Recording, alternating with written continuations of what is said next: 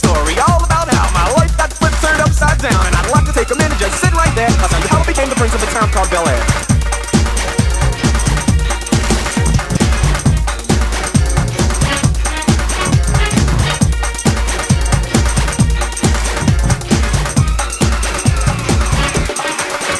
In West Philadelphia, born and raised on the playground of Paris, both of my days chilling out, maxing, relaxing, all cool and all shooting some b-ball outside of school. When a couple of guys who were up to no good